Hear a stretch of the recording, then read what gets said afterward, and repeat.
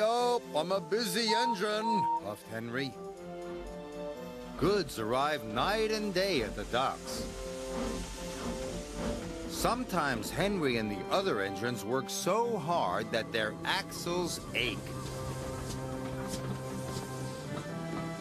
Sir Topham Hatt brought in a new engine to help with the heavy workload. He was long and had 10 drive wheels. He looked very strong. This is Murdoch. He's going to be pulling freight on the main line. Ahoy, matey! shouted Salty. Welcome, Murdoch, called Harvey. You're the biggest engine I've ever seen, cried Thomas. You're a chatty lot, Murdoch said quietly. Soon Murdoch was coupled to a long, long line of heavy freight cars.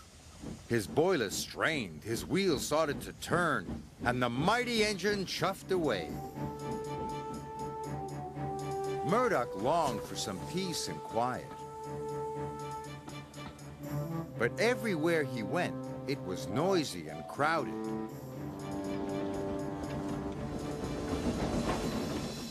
At the end of the day, Murdoch was looking forward to a good night's rest.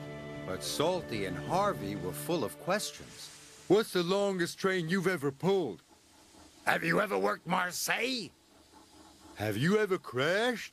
Please, I want some peace and quiet, and I don't want to share a shed with chatterboxes. No need to be rude, huffed Harvey. Hey, we're only being friendly, matey. The next morning, Murdoch collected another long, heavy train.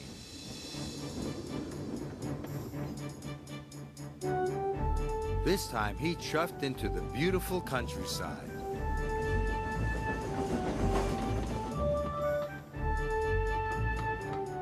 It was splendid.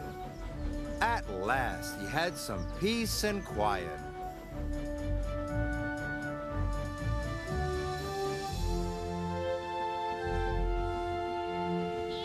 Suddenly, his driver applied the brakes. There were sheep on the tracks. The sheep escaped from that field, said the driver, through that broken fence. The driver and the fireman tried to chase the sheep back. First this way, and then that way. They tried everything, but nothing worked. We'll never remove these sheep by ourselves, complained the fireman. I'll go and phone for help, sighed the driver. Murdoch was very unhappy. The noisy sheep were spoiling his peace and quiet. Sir Topham Hatt was enjoying afternoon tea when he got the call. Sheep? he exclaimed loudly. I'll send Toby with the farmer immediately. The sheep were becoming noisier and noisier. Please stop, groaned Murdoch. I'd rather be back with the chatterbox engines. Just then, Toby chuffed into view. Toby, exclaimed Murdoch. We're certainly glad to see you. Before long, the farmer and his dog went to work. And the sheep were soon safely in their field.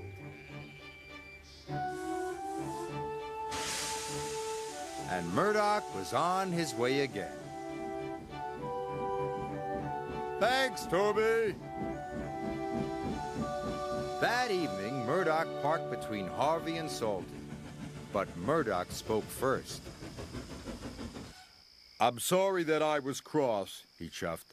I'm very pleased to share a shed with you. And we're very pleased to have your company, said Harvey. Aye, we are, added Salty. It reminds me of a story. Murdoch smiled. The sound of ba ba would have kept him awake, but a salty story would send him happily to